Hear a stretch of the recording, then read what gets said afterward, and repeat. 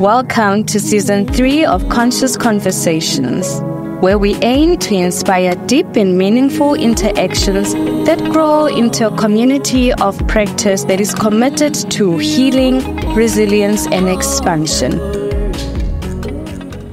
Today, we're having a conscious conversation with Greg McNeil, and we are talking about African indigeneity and sovereignty I think many of us know about our history with colonization. We know, um, I don't think we know what we don't know about our, our history as African people and people of African descent.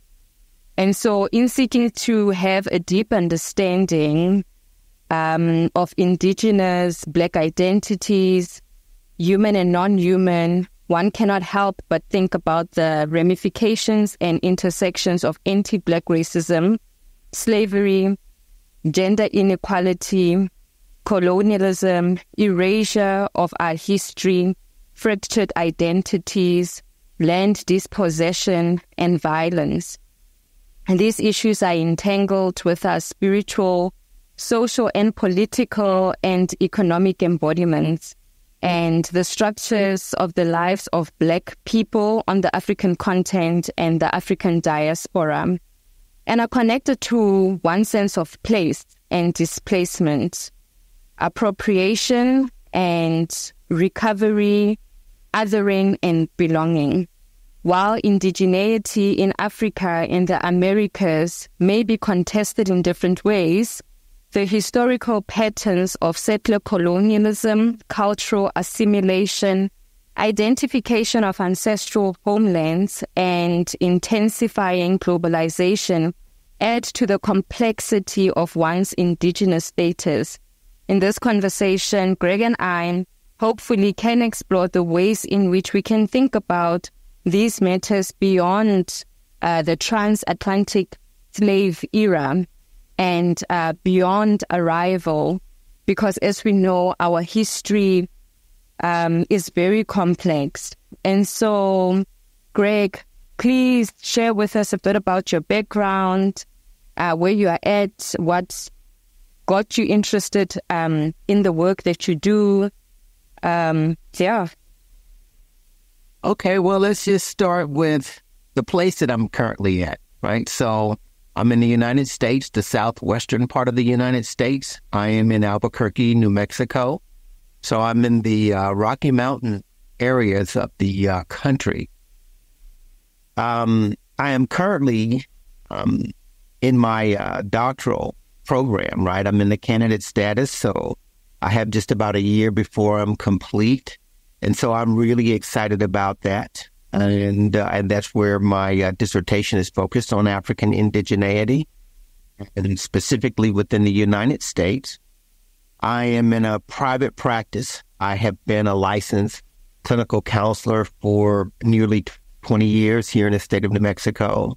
I diagnose and treat various types of psychological dis-ease, right? Um, I'm a clinical director, business owner, life coach, you know, servant researcher. Um, there's probably a lot of things that are going on for me that I'm into, and I can see that that list continues to grow. So I may forget some things, but I would like to say at the at the heart, um, an adventurer, right? The work, being called to this work, um, you know, I talked about it some in the research, you know, from dreams, visions, um, I've always been connected, have knowledge of my uh, indigeneity that I learned, of course, from my parents. And so it sort of um, set me on a little bit of a different course, right? So it was a little bit at odds with the rest of the educational format that a lot of the people around me, you know, were receiving. And, um, you know, as a young person, you know, you had to kind of like deal with that split brain type of thing, what you're hearing in one environment versus what you're getting in your primary environment. So I really paid attention to that. But I would grow. And uh, like I said, you know, like esoteric studies, ancient history, religion, all of those things would become a part of my path on this journey as a transdisciplinary scholar because it would be the ways that I could help figure out the riddles that as African people, African descended people that we've been challenged with. And so that's been my journey to this point, right? And if something pops into my head as we go forward, I'll quickly jump in and say, oh, yeah, this is something else that I used to do. Used to do. okay. Uh. And um, your your journey. I mean, you and I have had other conversations uh, before around uh, you growing up. I know your your mom in in particular was very instrumental in helping you maintain your identity. And I think your relationship with the environment, with nature, which you still have a very strong connection with, how did that affect you growing up as a young boy in America? Wow. So that's really interesting because um, I was considered a country boy, right? I was considered a country boy when I was in the country, which if, if you can get that, you know, how can you be considered a country boy when everybody's in the country? Well, that's how far off I was. Um, I was never comfortable any place as I was in the forest, right? And since we really live very close to it, you know, you know, parents and children, when we have great relationships, when they're talking to you, they become your best storytellers. And as I listen to my mom and, you know, family members talk about, you know, African history, your indigeneity, and these types of things, there was really no place I could go outside of my house and have conversation with because it just wasn't in the community that way. So instead, I went out the back door. I was in the forest. That's where I was. I, I stayed there. That was my community for many, many years. And even growing up through school, there was always a part of me that I could engage in any conversation that most people engaged in. But there was always a part of me that was attached to another place. And, you know, that's, you know, nature, the natural environment, you know, keeping the ears open for the calls, the voices, I guess you could say, that children hear that uh, adults tend to lose. Yeah. So that's what it was like for me. Why? I mean, so America or the United States has a very interesting relationship um, with uh, people of African descent. Um, and I know, you know, from what we see on TV, what we see in in in the media, I I know that it's been very difficult for Black people or people of color to maintain who they are. Why do you think, or or how do you think it is that your mom still stayed strong in her knowing and therefore was able to nurture you and your gift? Okay, so when we're talking about the United States in particular, um, so when we use the term colonization, um, we think about it in some places globally. Um, but when you think about the United States, there is an intensity um, in the United States with that whole process. And, you know, we'll talk about that more, I'm sure, especially as I go deeper into the research. But there is a great deal of intensity. And unfortunately, what you see in this country, the strength in many cases is carried in our mothers. Um, because in some cases, they've been the only ones that have been allowed to have a voice. And uh, and when I say that, that's just not abstract language. There is some intensity behind that. So if you research this history in the United States, you can see there's been quite a there's a history of intensity in terms of how uh, colonialism has acted towards people of African descent in this country. And so it's always been a challenge. For me, one of the things that I came to learn that it really has nothing to do with the color of your skin. The color of the skin becomes a marker. It becomes something that you can easily identify. You can say, look, there's that person with that particular skin color. But it's the history.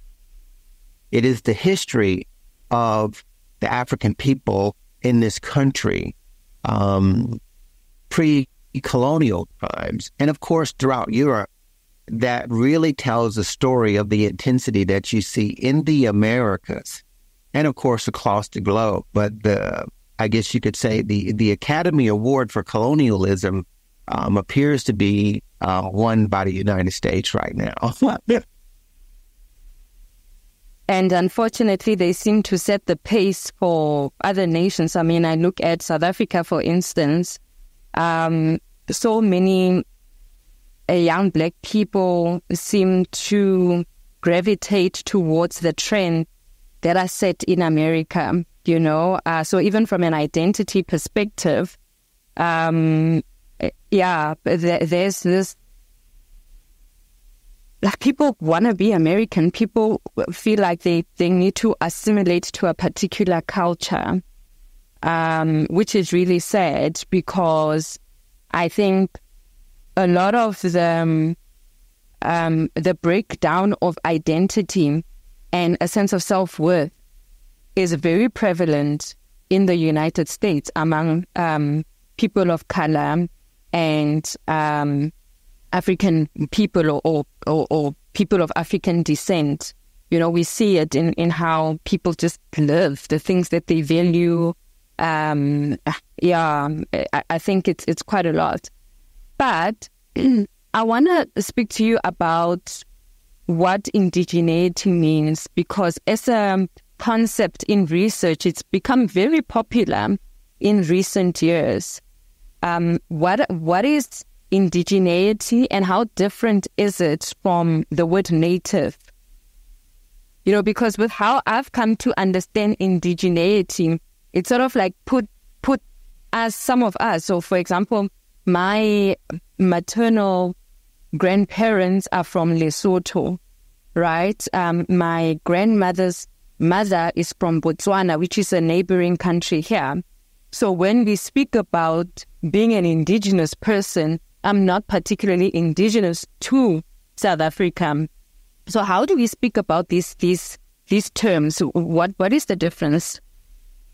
So one of the things that is really important, um, really for everyone, but if we're talking about, you know, like African descended people and African people in general, we're start, talking about indigeneity. Well, let us, to clear it up, let us first go back to antiquity. Okay. So Oxford likes to give us a standard dic- dictionary definition, which is individuals, people who have inhabited the lands from the earliest times and before the time of colonist arrival, right? Right now, you can include um, essentially all of the indigenous people on the planet in that definition. Okay. Um, more specifically, you can say that you're talking about African people because African people, again, now we're talking about evidence, not facts, mm. not beliefs, but evidence. And the evidence um, clearly indicates that the first Homo sapiens sapiens anywhere, okay, they were started in Africa and then they migrated out to other places across the globe, mm-hmm. which meant that wherever they went, they were the first peoples. Now, in my research, I stayed away from the word Aboriginal at that point because I thought, you know what, I'll come, I'll hit that at, at, a, at a later time. But what I wanted to get clearly established into people's minds is so we take this this definition. Well, the first peoples um, from the earliest times are African people. Okay, it's in the bone, so we don't have to worry about arguing about that. And we're not only just talking about on the continent of Africa, but we're also talking about in ancient America. And also, too, for the listener, it's important to understand that what we know today as Africa and all of the different countries that make up the continent, it was just one place, you know, in antiquity. It was just one place with many people on it, right? So when we talk about when we move to native, now we're when we get to native, now we're starting to get we're moving closer into uh, I guess you could say European history now, right? When we say what's this idea of native? Well, you're native to the land that you were either born to or associated with. Okay, well then if you consider what migration has done, then who is native anywhere first before African people. Okay. Now, this is not finger pointing. Nobody is grandstanding. And this is what makes this research so important. In order for us to keep it at the level where we can heal, we want to be able to stick with evidence, right? So that way, um, we stay out of ego, language, false trappings, and these types of things and we just say, well, look, no, this is who we are. This is where we come from. We have always been here. And that's the evidence. So again, so we kind of go back to the idea of indigeneity, or first and foremost, we were already here. We were here before the colonists arrived, and there were many different African people who were living in many different places. Okay. And it's only until the time of colonization that we realize that this country is called one thing and your neighbor's community is called something else, right? Typically, um, you would say that the land itself created its natural boundaries. And the people, when they met each other, they all communicated, you know, during a time of um, harmony and we connected and we grew as a people. And that's what happened. And, and if I forgot something, please, you know, direct me back because, you know, just in case I didn't quite, you know, answer that all. I, I love the fact that you, you brought in antiquity, right? Because research does say um, the first humans migrated out of Africa at least two million years ago. Um, so the conversation about indigeneity, ancestry, land, landlessness for the globe becomes very interesting then. Why do you think governments um, of the world essentially ignore this fact? So now, so I'm going to go with the evidence and then I'll probably make a little bit of a leap. So I'll be as clear and um, and respectful as as possible. So when you get into the research, when you get into the evidence, you find out that people around the globe um, research, they all know what you and I are talking about. African indigenous history, populating the world and stuff like this is is not new. So I believe it is um, uh, Sir uh, Godfrey Higgins, you know, a famous uh, British historian back in I want to say eighteen I want to say 1850, maybe 1860. And he reports whenever, excuse me, whenever we search for the origins of humanity, they are always black. The deities are always black, like they have been from the earliest times. The further you go back, the blacker the soil becomes. Again, none of this is it's not new to those people who know it. The people who need to know it do not. And that has been the challenge. So the question becomes, um, you know, what has happened? Well, I would say that if you know your history, you act differently in the way that you live.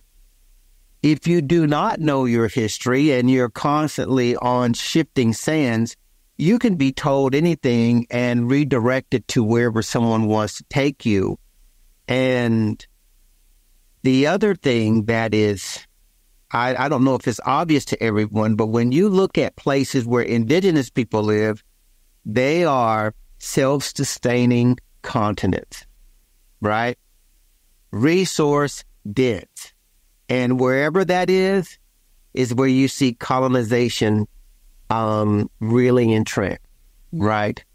It's a it's an extraction principle. It's a dependency principle in that process. So when I look at it, uh, um, and I, I don't want to get off too far, but when we start talking about land and indigeneity, we are also talking about people who had everything that they needed. Okay. We, poverty as we know it today did not exist. So when we start really getting into that, right, you can actually see what's happening. Not only did they know that African people had populated the globe, that they were indigenous everywhere that they went, they also knew that they were builders, they were pyramid builders and civilization builders. And again, these are the types of things that I seek to do in my research, which is say, hey, look, when you understand this, we can start to think differently. Because right now you've been challenged with another thought form, and that's why, you know, there are the challenges that we face right now. I hope I answered that for you good. I like the fact that you're you're bringing um, civilizations that have gone past, right? Because as you know, I'm also um, pursuing a PhD, you know, um, and it is currently titled The Desecration of the Bantu with the focus on the Ndu, a case for healing ancestral trauma. And for me, this work has meant going back and uh, because I've also been initiated um, as a Sangoma, so I feel very much called um, to understand who I am because I, I don't think one can do justice to this work and to healing and to personal decolonization when one does not understand who they are and where they come from. So I I sort of like looked at the history of civilizations and I saw that um, Africa was rich, man. We had kingdoms. We like so, why do you think that part of history is not told? I mean, as a young person, um, up until this point, the history I knew of Africa was pre slavery, pre, I mean, uh, post um, slavery and post apartheid, right? And what I'm finding out now is that we were rich, we were amazing traders, we were economists, we did so much. Why is it that that is not told? And why do you think African people or people of African descent have not had a very focused interest in rediscovering that history or actually teaching us the correct history. I mean, I look at the political climate here, the political leaders, I don't even want to call them leaders because, like, what they're doing is just so wrong. Like, people are so captured. Um, it is shocking. It's actually painful to see how people with the same pigmentation, with the same marker, do not seem to understand the importance of really, really understanding who we are because it changes how we think about ourselves. I mean, I look at my process, like coming to understand these things has really changed how I look at life, how I position myself, what I think I'm capable of. Um, yeah, so it just changes so much. But it's very interesting. I think it would be very interesting to find out from you as to why that history has not been told um, as it actually happened, you know? Yeah. So, one of the things about my research is I seek to take that obscure hidden history and make sure that it is embodied. Okay. Because one of the things for me um, on this path is like I've been, I would say, called to like the hidden thing. It's like there's something that's not being expressed, but it's very much alive and operating. And it seems like that's what would, I would be tuned in to those types of things. So when I would hear somebody say, like, you know, we need to find out who we are, when I hear that existential question, my brain essentially says, you have to go back. You actually have to dig because the question implies that something so terrible has happened that nobody really remembers. Now, if we go back to the United States, and let's just say, like, if the United States in many ways sets the stage in a lot of the programming, the social programming that you see across the world, right? Well, if you look at some of the things that are depicted as having happened in this country, you know, they show some people on a plantation doing things. What you see are spiritless individuals, right? They just, that's what you see. What you don't see is what happened to cause somebody to appear to be spiritless, docile, and all of the other things that have been um, identified through um, slavery and the colonization process. Now, there are some things in the research that I have discovered through other primary research research sources that um, that I'm de- that's definitely going to be in the work, and obviously you're going to have an opportunity to read it. But I will just say that the intensity of the slavery experience is far greater than what has been publicized. Okay. And I think that's one of the things that we really have to kind of like take into the body. Because if you just read the current texts that are out there, or you you read some of the shows that have been that they show every now and then, they depict the same kind of like process. If you've seen one, you've seen them all. But that's not the history. When you when you read what has actually happened, and and and I will admit to the um, to the listeners, some of this research that I'm doing right now, I'm I'm not sharing in this particular space because it's not ready yet, right? But I will say that we're talking about something so extraordinarily intense that it is just causing you um, to just have a completely different way of viewing the world. You cannot speak your language. You cannot go anywhere. You can't parent. You can't control anything as it relates to your essence other than die. Okay? And that's just that's just a small portion of it. So when you think about all of the things that have actually happened in this country, you can actually see how thoughts have been shaped, how attitudes have been shaped, how behaviors have been shaped. And I would say that a lot of this really stems from not only a lack of knowledge of your history, but you have been um, deliberately separated from your history um, with the type of intensity that most people are just not in, prepared to endure. You know, and like I said, I can just, I can really go on into that in terms of like just how we shape thought. And which is one of the areas of my research as a clinician. Thought really is uh, my work, how thought is intentionally shaped to produce the realities that we currently experience. And then how we go in and help to change that. That's really what my work is. I, I love that you delved a little bit deeper into your work because thought and the mind are so pivotal in terms of how we experience life, the choices that we make, um, how we perceive our reality. Um, and, you know, I was hoping I'll ask you this later. Um, but I think because you you've touched um, on this, we should we should we should get right into it. I I I I've read about the Hermetic principles and um, the laws of the universe. You know all these things around how the mind actually functions, right?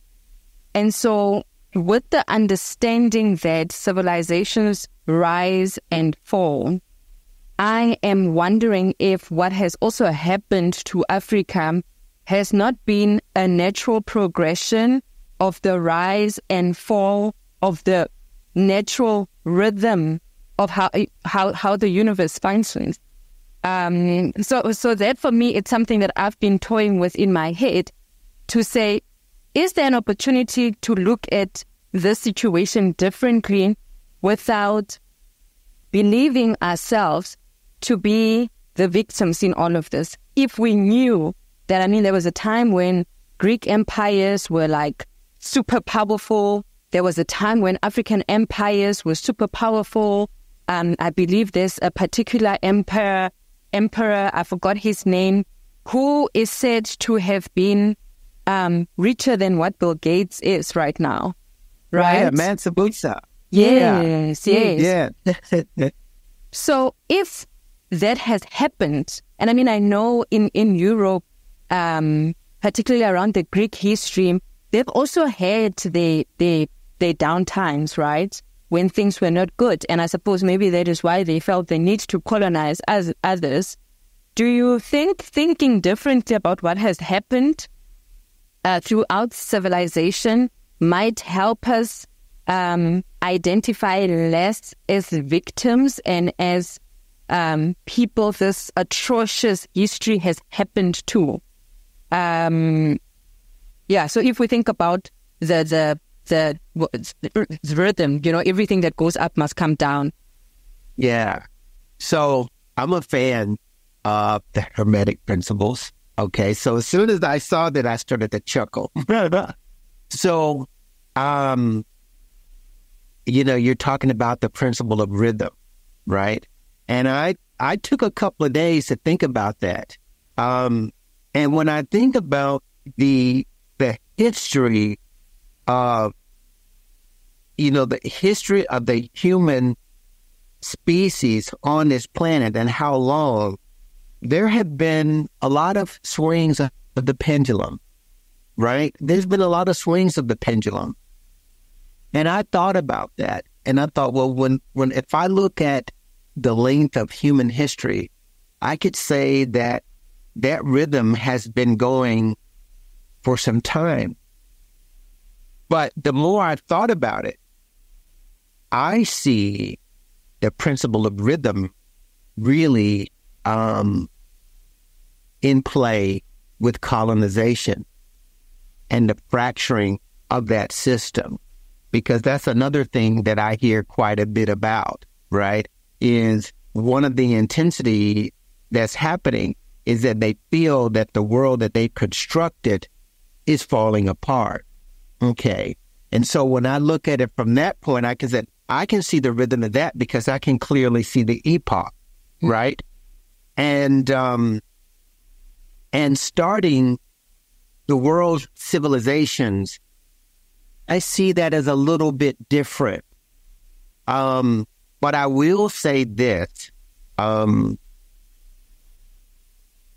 how the self concept of African people that self concept is one that I see as being engineered.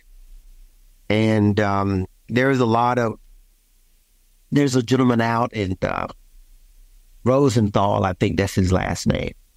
And uh, he coined the term the Pygmalion effect. Basically, yeah, Pygmalion. And uh, which really um, relates to um, the expectations, let's say like the expectations of those in authority, teachers, and so forth, how the expectations, attitudes of those in authority, the, those who are teaching, can influence those who are actually learning from them, right? So you kind of go back and look at that just a little bit, and then you take it out of the classroom and then you apply it to a broader view. You could say then, in many respects, that the African people are living out a Pygmalion effect, right? In which through colonization, you are creating circumstances through which people are having to live through. Mm-hmm. Okay. And I'm going to say more about how that, you know, how I see that, you know, taking place. But let's just say, for instance, if you don't teach African history um, the way it should be taught so that people can they can feel proud of their their ancestral history then you're actually doing something with it right and so particularly in this country you're not getting that history right?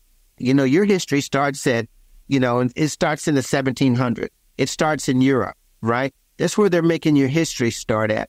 And so they're basically telling you that everything that happened after that is not only inconsequential, but now they're trying to they're trying to uh, Europeanize um, ancient African history.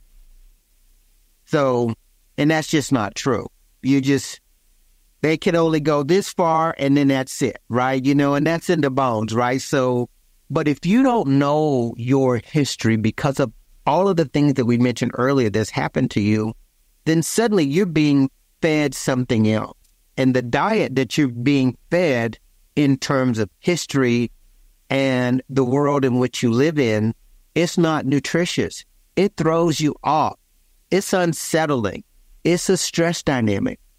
Uh, um, so you can then, when people are in those states, they're much more easy to manipulate, you know, and uh, and experience victimhood, right? And so some of that is also engineered. So this is why there are so many of us, you know, Dr. David Hotep, Van Sertima, Diop, Winters, um, all of the people who have actually come before. This is one of, and I'm in that line too now, I guess you could say, that this work is about removing the veil that makes your existence feel so unsettled. Okay. And this is what a lot of people are dealing with, right? That when they reach for the thing that is really important to them, it feels unsettled. And uh, and if I can just say this really quickly, uh, yesterday I was on a, a webinar um, titled "Deconstructing Anxiety and fear. And in the in the webinar, we talked about the five core fears. Well, abandonment, of course, loss of love was number one. But number two is identity. Not the identity that we like to call ourselves, not the made up identity like I identify as this type of a person. I'm talking about who you are, right? Who you are as a person that, the loss of that creates a core fear. It creates an existential crisis for us, right? And so people in the United States, many of them don't realize that they're the same people. They, you know, when you get down to the, our blood, they, we are the exact same people, right? We have always been the same people. But the trauma, and here just a little bit, and um, do you remember the movie called Roots? It was a long time ago. you hadn't seen it? Yeah, there you go. Well, there you go. So I would actually encourage you not to even go back and look at it then, right? Because it's because you don't need to. But there is a scene in that series where one of the actors, um, I want to say his name is Ben Vereen, he played the part called Kunta Kinte, right, in this scene. And he had tried to run away. He's being, you know, he's being whipped and everything like this.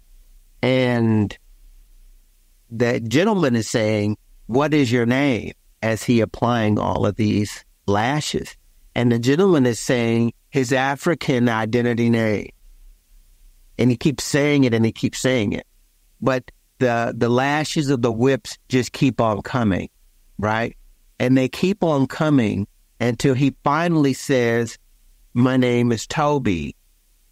Well, what a lot of people misunderstood in that scene was that uh, African connection to the indigeneity in the United States was broken. because at that point they started speaking English. There was nobody in here speaking English before the, the European arrived.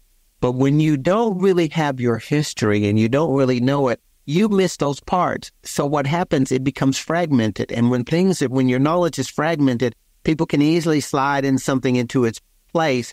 And when they have the power to do so, they can put this um, construct, they can upload this construct into your psyche, into your subconscious, start repeating it. And then before you know it, you start to believe um, those things which are not true.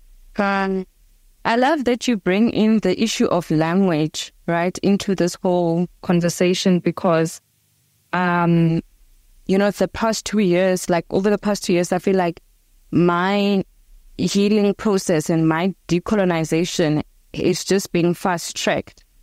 And I've been um, going back and looking at some of our um, sayings, like just like our language and how often in the ways in which our elders would speak, there would be so much wisdom in all of that. Um, it might sound like a proverb, but it was so practical to their everyday life and how they exist with nature. You know, um, yeah, so I totally understand how the loss of language has been so um, has has been key in disconnecting us from who we are.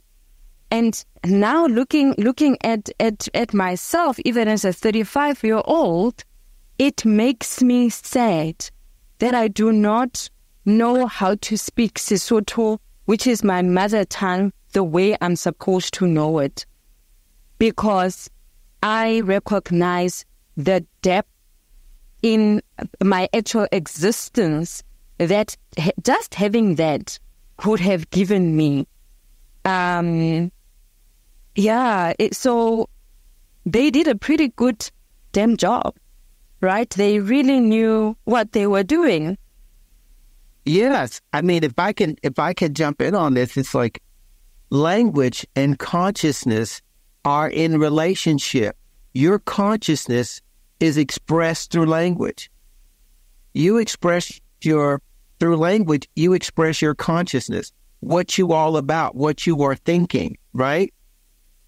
When you are, when when you and I are having a conversation, and we've had many conversations, when we're in that space, we don't have English constructs. We're just talking.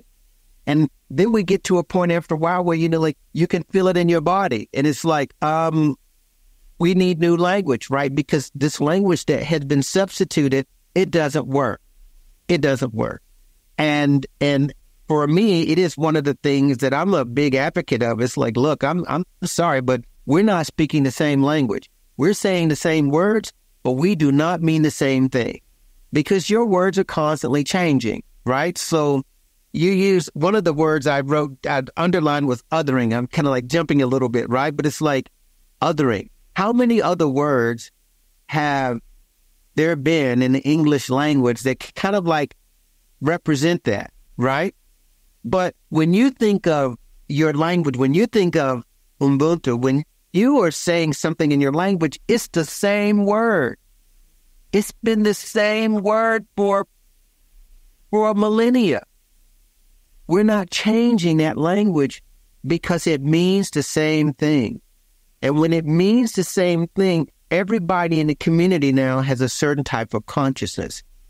Within the United States, as you'll find out, it's like, look how many words we have. Every time you turn around, the language is changing. So I so for me personally, I was like, look, this is this is just my approach. I get it. I'll take that language and I'll put it over here. Right. So I know how to use it when I'm speaking to certain people. But I regularly have sort of like a data drop in my head about taking in too many what I want to call English words that are abstractions and they keep you disconnected from what you need to be feeling and thinking and expressing. as we are talking, um, Greg, the issue of sound and words are coming to my awareness. Um, now, if we understand what sound is in the context of creation, then language becomes very important, doesn't it? It is. And and that's one of the reasons why tongues were cut out. Okay. People are boiled and other kinds of atrocities that you can think of because we have to disconnect you from that consciousness. Because what the evidence shows when your consciousness is intact, what is it that you cannot do? Okay. What is it? Absolutely nothing. So um, when people say, well, what is the biggest difference? And if you're not careful, they will try to disconnect people in the, in in America from people in Africa. If you don't understand what's happening, they will try to disconnect you from from that. Well, their consciousness is different. Well, sure it is. But why? Because if you look at the population density, then you understand what happened to the community.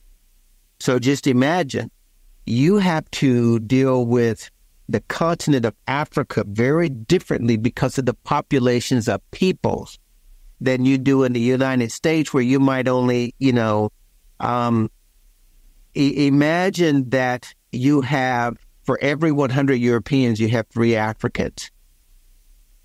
So you can you can see how um, curated and cold, right, the population in this country is.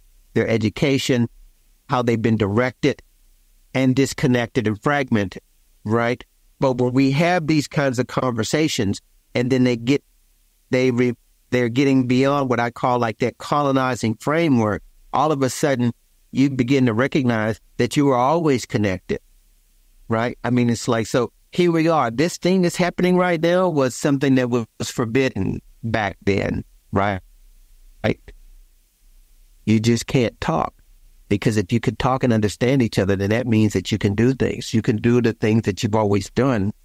And we can't let you do what you've always done. And that's what the people do not know about their history that they need to know. Well, I mean,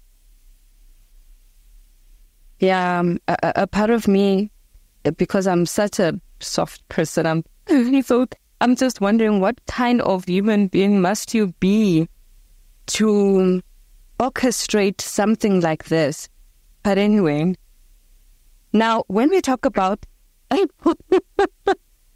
when we talk about colonization and um, and how we as as African people, perhaps as people of African descent, um, particularly here in in Africa, and you can you can expand on what the situation is like in the United States and maybe other parts of America or, or the Americas where people of color have been colonized. I know, um, you know, like in in South America, there's still a, rich heritage, you know, and it seems like the rest of the world is now starting to appreciate indigenous cultural practices, spirituality, and so on. But again, it's being commercialized. So um, just, you know, the, the, the gravitas and, um, you know, the sacredness of it is sort of like being diluted. But how are we complicit in the colonization of indigenous people? So in the case of the Khoisan, which here in South Africa, they still have to fight to be recognized. They still have to fight for basic things, you know? And some of, like, I've seen certain communities still prefer to live how they were living before um, colonization happened or before people started moving the way that they move. I know some Khoisan communities still choose to live how their ancestors have lived, but they keep on being pushed out of their land. Um, um, I had a conversation with Simon um, um, who who is a Khoisan uh, man healer, and you know how he speaks about what is happening in the world. Um, just also broke my heart because he, one of the things he said is, we as an elder, so we're not, and I'm paraphrasing, we're not going to throw tantrums when children are throwing tantrums. Um, and he speaks about love and he speaks about them maintaining their identity despite what is happening. But another aspect to this whole thing is how um, descendants of the, the Khoisan want, actually, he said they want nothing to do with it because the younger generation recall how their ancestors were treated for being who they are. So there's almost this sense of self hate or not wanting to identify as Khoisan. Uh, and I'm just going to use them as an example, but, but I know, like, even amongst the Zulus, among the Basutos, I mean, just how we, how people consume, how we carry ourselves, what we consume is so Western that for me, it feels like we are a people that have come to loathe themselves. Yeah. So again, I used the term Pygmalion, right? And I talked about Rosenthal, something, and you want to really look up, right? Because I'm going to talk about that quite a bit in the next stage of of my research, right? Because that's a program Okay, so what you're actually talking about really is a program, right? And you know, as a clinician, um, it's just one of those things I'm just very much aware of. You know, you just see this all the time. So you have to do things to people to get them to think and behave a certain way. That's the first thing that we're talking about, right? So before people can act a certain way, we have to look at what is the cause? So we see the effect, right? We see the effect of colonization, right? But the cause is obscured because nowadays you just see a lot of commercialism and things like that. So again, a lot of it is you're looking at it down the road. But in the case of, like you said, like the, the Khoisan right there, you know, um, the elders and then the younger people are like, look, you know, we don't want that. Well, that is a, that is the part of colonization that has been so devastating to every indigenous community on the planet. Okay, without exception. Um, you go places you don't expect to see people, and somebody's got an American football jersey on. So, how did you get that out here, right? So, um, and that's something that I'm going to talk about, you know, like more so in my research. But I want to, I want to make this part clear. Something has happened, and that's what we're really talking about. And when we put it in the body, then we can really say, now I understand what's happening. This is why these people are doing this, right? It's like, I, I don't want my ancient connection. Why is that? Because somebody has made me hate it. Okay. We could also be talking about religion, right? You know, the, the, the spiritual practices that have gone on across the globe and what has happened to them as a result of colonization, right? You can see, I mean, I was speaking to Pindi um, not long ago, and we're talking about what religion has actually done to spirituality in all of these African communities, but not just in Africa, but in other continents where indigenous people have been practicing their own um, ways of being. I'm here in the United States in the Southwest. I see it all the time on the Navajo Nation, right? And other um, uh, American Indian, you know, communities. And every time I see a cross in the community, um, I know what's happened to that community. You know, a lot of people don't understand that no indigenous group anywhere in the world ever gave up their practices. They were destroyed, okay, along with the lives of those leaders. So, for me, one of the things that I want to do going forward, Mmabatho, is to help people to realize what has happened. Um, we have to stay connected to what's happened, not being victimized, but remembering. By remembering what has happened, then we can come back and say, hey, look, we understand what's going on in the world, but there are some things that we need to do to be able to sustain ourselves. So there may be certain things that you and I say um, to each other. We might have a language that we're using. That language is not leaving our community. Because one of the things that we found out is when that language leaves your community, somebody is manipulating it, right? And so my work is it's not what is wrong, but what has happened. And it is intense what has happened. And I think, you know, for me, it's like, let's just say this hurts what has happened as a result of what we have given to the world. This has been reflected back to us. It is, it is painful. Okay. So let's acknowledge the pain and then let's take the steps to move forward. And how do we do that? We're doing it right now, right? We're talking about the history. Any African descendant person that's on this podcast right now, no matter where you are in the world, you know, you want to go and look into your history, right? Go deep into your history. Um, and those are the kinds of things that I think needs to happen to change the consciousness. Because that's what we are talking about first, right? we have to regain control over African consciousness, right? And um, it can, it can't come from someone else that came after you. and um, you know, a lot of the time when one is speaking about these things, it might sound like one is being political or one is trying to rehash history. Um, and all these things that uh, other others might think. But I cannot help.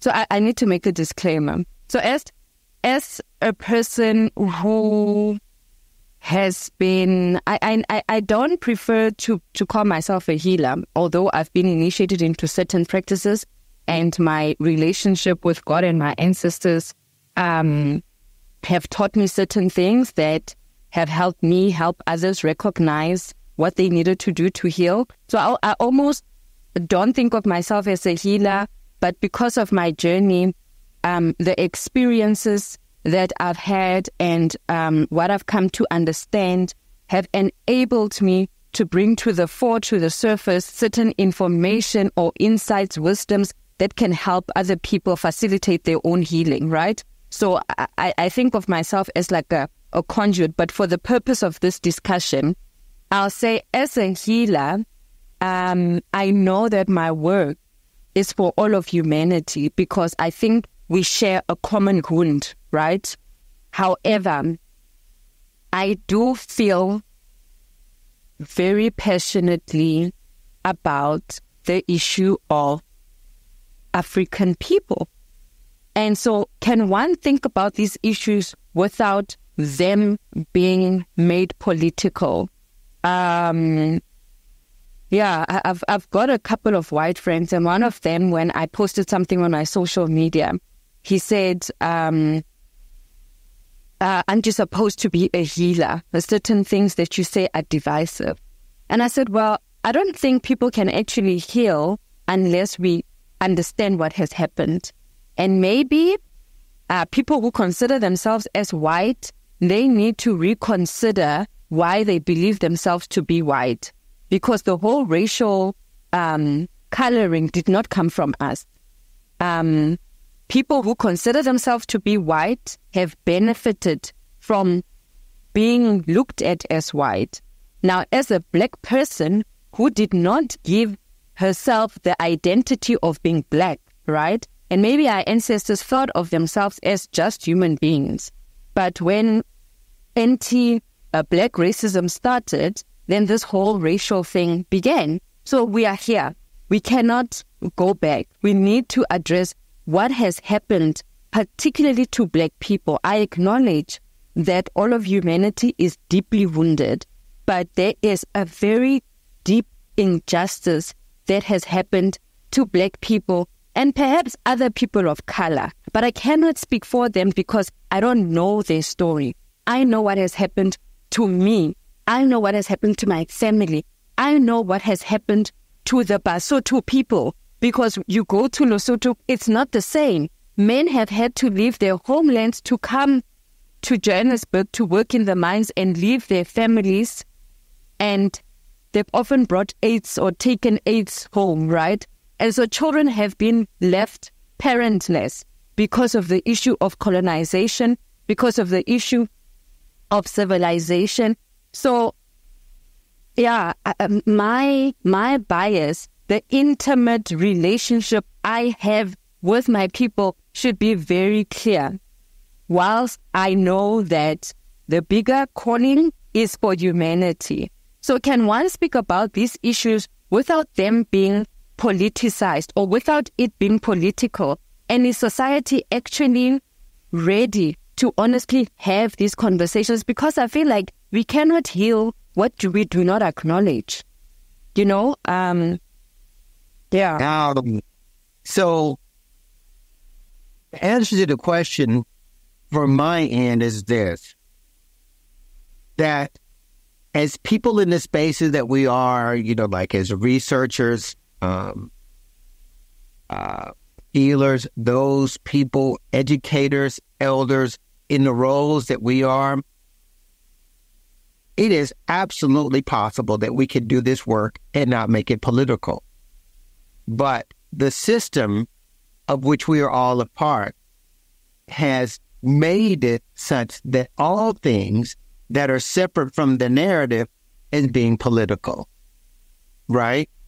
So, um, if we talk about the first inhabitants of the Americas, and you know, you can have some Native American, uh, excuse me, American Indians who could be upset by that, and I recognize it.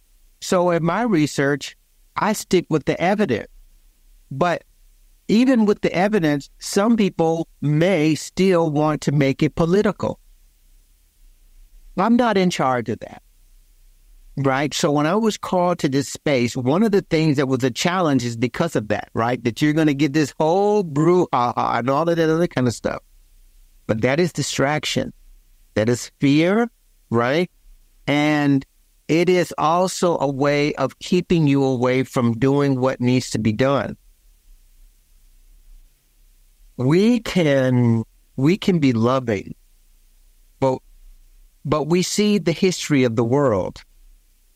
We're now living that history. If you and I are not doing the things that we are doing, who tells the story? Who connects them with the history?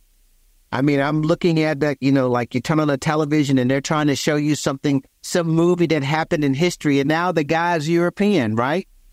if you don't keep fighting for your history, they'll make the entire history of humanity European.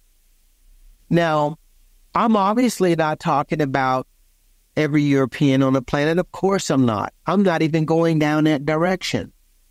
But we understand right now that those who are um, who are perpetuating what we call a colonial experience anytime you do something other than the narrative, it has to be political because we have to shut it down. Right? So there may be some people who, like the friend that you had, um, it can sound political to him because it is pro African. But pro African is not anti anyone. Okay? And so that's one of the things that, you know, think people have to understand. It's like, look, I love you, you're my homeboy and all this other kind of stuff. But when it comes to my people, this is what I have to do. Right? What? you know, it's like, I just have to be able to do this. And I've had people to say, look, man, you know, that's kind of scary. It's like, no, what's scary is what you don't know. Right? Because every time you turn on the program, you turn on your your your computer, you are getting a colonial experience. Yep. You, your mind is being conditioned. So what you and I are saying in this healing space, this is what we are required to do and others in this in this work. But this is not anti anything.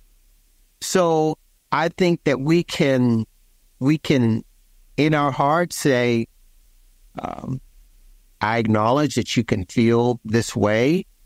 Um, that is not my feeling. That's not my intent. Um, so if we're not going to speak anymore, I guess we're not going to speak anymore. That was in my edit. I was like, you know what? If I cannot speak my truth, if my truth offends you, then we're cool. I love you. I yeah. you as a friend. But if I cannot speak my truth because it offends you, then we're cool. It's okay. Yeah, because we, for us to not be friends anymore. That exactly because if we so we've moved into a space in the world where we actively talk about decolonizing. We use that language. We say, well, we want to decolonize. If you want to help in decolonizing anything, then helping to restore African history is the start because you came to be through African history, right?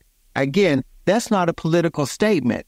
That is a research statement. That is an evidence based statement, right? You don't have a European without an African. You don't have a Chinese person without an African, right? You don't have a Native American, American Indian without an African. That's not me. That's the evidence in the research. Okay.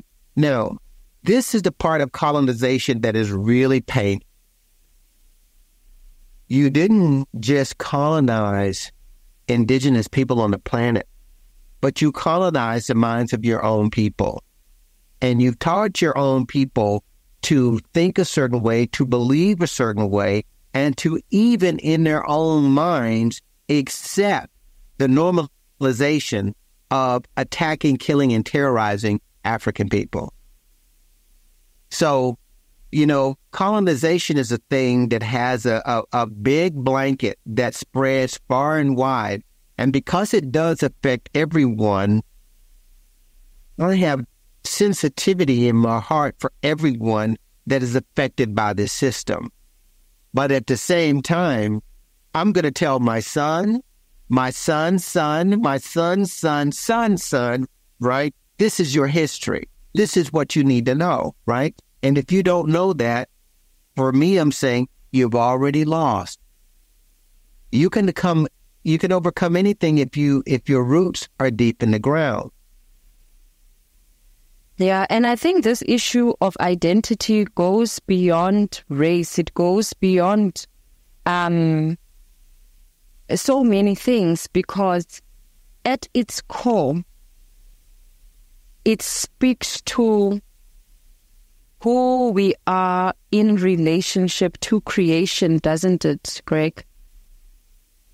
And once you know that, you one one almost has a completely different sense of what reality is and what becomes possible for you because our ancestors understood the loss of the universe, these hermetic principles, all these things that we now understand in the context of the Greek mythology, right? We understood that. And therefore, we also understood the importance of relating with care, right? Uh, we understood the importance of respecting life, right? And of course, that meant having a completely different and positive and beautiful human experience. I don't mean to romanticize being African, but what I have come to understand about what Ubuntu is in this philosophy that now the whole world claims to know about Ubuntu. They know absolutely nothing about, well, most of them they don't.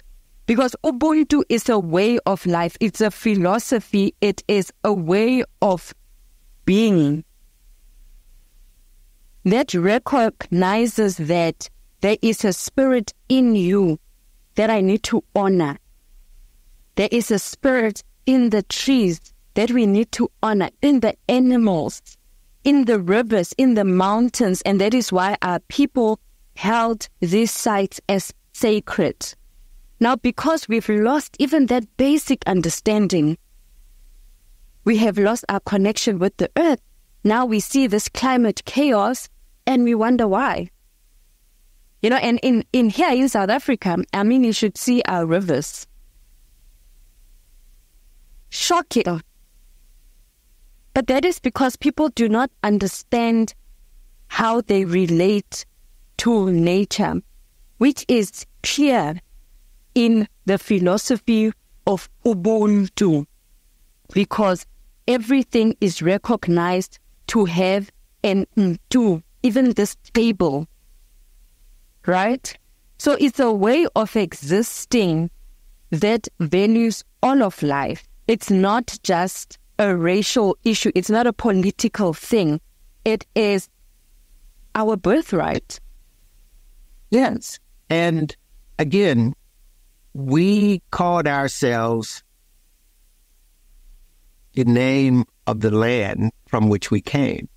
That's how you were identified. You are identified with the land, right? Um, so what you know what I see in in this situation here is like you should be proud of who you are as an African person, um, as an indigenous African person with an unbroken lineage. And this is one of the things that you know, like my neighbor across the street. You know, we're just joking, but but he would be one of those individuals um, that in conversation like this, you ask him a simple question and you can see how colonization colonization has broken them. So for instance, a simple question like, what other person can make an African person besides an African person? Where else did you come from? But certain things like that is is not in the mind, right? Because those things have been broken. So when you talk about looking, you know, like in certain communities and you look at the rivers and what's happened, what you're looking at is what has been broken. The the relationship to the land has been broken, right? So the people live now very differently than they lived um, before colonization. So that's one of those things when I when I look right? I always make sure that I keep my mind on the context. So I see a bunch of people living together, you know, the poverty and all of this kind of stuff. And the first thing my mind says is this is not how the people live. This is a construction. Okay. And so when you make people live unnaturally, then the environment where the people live is going to also be reflected in that. But if you don't understand how the system works, you put the blame on the people and not the cause. Mm. You see what I'm saying? And that's one of the things, what I mean when I say we have to stay embodied. Because if we allow ourselves to keep reaching for these abstract words in those abstract languages, we'll be applying European concepts to an African dynamic that has been severely disrupted. And that's why it never makes sense because you can't use European principles, let's just say, or thinking to go in there saying, this is how we're going to fix your community. No, you actually have to restore the people in the community and then the people will restore their community, right? But what you're doing right now is you think you can bring something outside into this community and fix it. It's like, no, you can't because every time you bring something inside, it's something else that's abstract. It's, it's not the people themselves you're taking away from that. So again, I don't like to see it. No matter where I go in the world, I don't like to see it. But when I do, I have a lens for what I'm looking at. I know how it came to be because that's not what the world looked like. You know, I'm here in the, the United States in the Southwest. I'm looking at the, the reservations around me. they're dry, desert, poverty. The Navajo Nation, for instance, is one of the, I think, in terms of natural resources, is probably one of the richest resource dense places in North America. And yet the people live in poverty. And the United States government right now are telling them that even though the uh, the Colorado River runs right through the uh, Navajo Nation, you still cannot draw water from it because we have to go back and check all of these treaties. Again, when you understand how the game is played, you could understand what's happening to the people. And that's why my research had to take a different focus because it's like if I start saying what's wrong, I missed the point. I have to go in and address what has happened, you know. And sometimes addressing what's happening mean that we do have to go in and pick up the victimization because that has been lost. We, you know, Dr. Clark said that you lost your victimship, right? And which means that the world then has been normalized in treating you a certain way. That's just propaganda and narrative.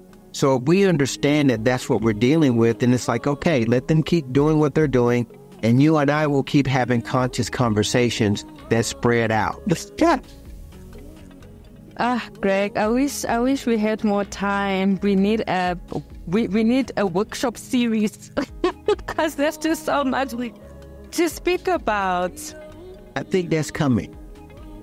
I think I, I think that's coming probably sooner than I realize. Yeah. um, thank you so much, um, Greg, for your time. Um, one thing though, what can we look forward to? Because I believe Spirit is working. It is not by chance that we are having this conversation. And so, because we also understand how the mind works, the fact that what you focus on expands, we want to move forward, right? Uh, we understand what has happened, and we're going to help our people understand what has happened, right? Um, but what is our outlook for the future? So now some of this I don't want to give away, right? But I'll just say this. I think an outlook has to be um, a robust education program. You know, some people say, well, you know, like, what's the importance of history? What you don't know hurts you, right? And uh, and I think there's, and, and I'm talking about the type of education that occurs like you and I are educating with each other, right? You know, like children in the village you know, working with children here in the United States. So we're all learning and being educated because that's, to me, that's the outlook, right? First, we have to reconnect them, right? We have to reconnect their histories, um, re- reestablish that connection, that umbilicus to the placenta, right? That's what we're that's what we're doing. That's what I see in terms of the outlook you know, making sure that everybody's connected. So no matter where they go, when they look at one another, they know what they're looking at. That, to me, I think that's the first step, right? We have to, we got to get used to um, embracing our community, learning from one another, learning what has happened, um, and go from there. And of course, you know, you know, since we work together on my research project, you know, you're obviously going to get a chance to see other things that I'm thinking and saying that are not out right now. But that's how I see the, the future outlook for us education. Thank you so much, Greg. Um, may the ancestors continue to guide you and your work. Um, may, may God continue to strengthen you because this is tough work. Because as we are doing this work, we are also uncovering certain wounds, right, in our own lineage. So it's not easy work um, and I recognize that. So thank you very much for dedicating your time and your energy to to this because we truly need it. Um, but we'll pick up on this again. Thank you.